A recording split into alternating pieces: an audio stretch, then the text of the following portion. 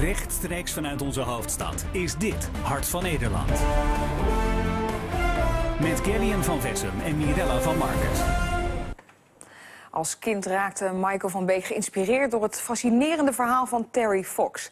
Nadat bij de Canadees botkanker was geconstateerd en hij een been kwijtraakte, begon Terry aan een tocht van 8000 kilometer om geld in te zamelen voor onderzoek. Terry werd uh, een van de grootste Canadese helden van de 20e eeuw.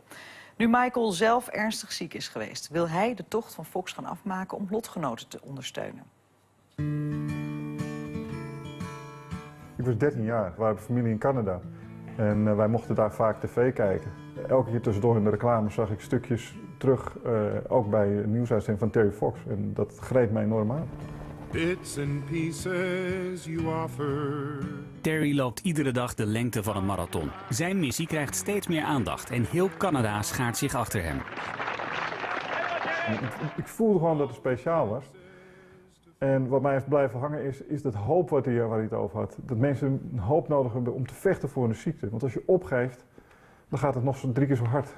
Vorig jaar krijgt Michael de diagnose sarcoïdose, een auto-immuunziekte die dodelijk kan zijn. Inmiddels gaat het weer redelijk met hem, maar hij wil zich nu vooral inzetten voor zijn lotgenoten die het minder getroffen hebben. Geluk gehad, ik kan het doen.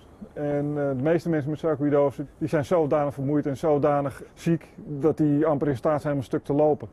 Dus dit, uh, ik realiseer me dat dit wel iets bijzonders is, maar daarmee kan ik juist aandacht vragen. Ja.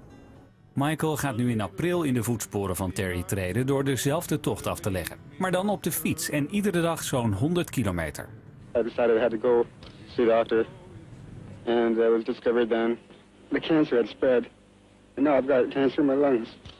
Terry voltooit zijn tocht niet. Na 5300 kilometer en 143 dagen moet hij opgeven nadat de kanker is overgeslagen naar zijn longen. Ga jij het wel volbrengen? Ja, ik ga het volbrengen. Daar uh, ben ik heilig van overtuigd. Maar ik heb er wel over nagedacht als het niet zou zijn. Is het dan mislukt? Nee. Ik denk dat het statement wel gemaakt wordt. Ook al zou ik het niet redden. Maar ik ga er natuurlijk wel voor. Ook uit eer van hem, maar ook uit eer van al die sarcoïdose-patiënten. Ja, wij blijven hem uiteraard volgen.